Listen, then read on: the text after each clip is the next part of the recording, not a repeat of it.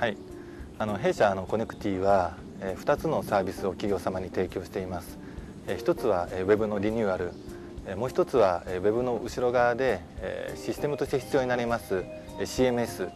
コンテンツマネジメントシステムをクラウドで開発して提供しています。はい。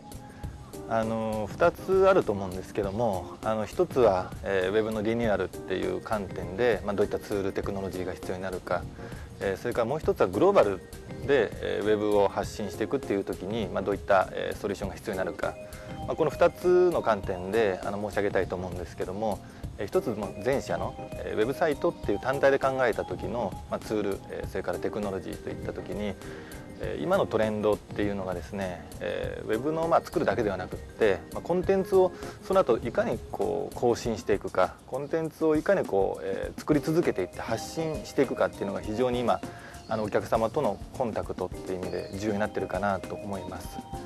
でそうした時に単純にウェブサイトっていうだけではなくて例えばソーシャルでの発信も必要でしょうしスマートフォンを考えた時のメッセンメッセージングツール等を使ったような発信も必要でしょうからいかにその各チャンネルごとに、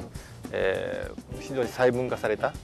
ソリューションを、えー、適用していって、まあ、きめの細かい、えー、コンテンツクリエーションとマーケティングをやるか、まあ、これが今非常に、えー、重要になってるかなと。またあとはそれをただ単にこう単純にそれぞれ個別にやるっていうのは非常に難しいものですから何か中心となるプラットフォームの CMS っていうのは非常に必要になるでしょうし例えばそれを統合的に分析するようなマーケティングツール分析ツールこういったものも非常に重要になってるかなと思います。はい、だからグローバルという観点でいきますと、えー、現状ですねあのコンテンツを発信していくっていう観点でえーまあ、日本アメリカがバラバラに例えば情報発信するっていうのは非常に効率的ではないですし、まあ、インターネットの時代なのですぐ情報が、まあ、差異があるっていうことは分かってしまいますので、まあ、企業としてはいかに標準的に